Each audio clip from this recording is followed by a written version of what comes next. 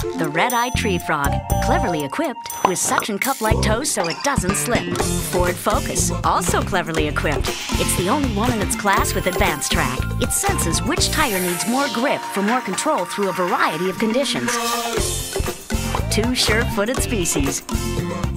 But only one's been a car and driver 10 best for three years running. Ford Focus with AdvanceTrac. Everybody's stuck on it.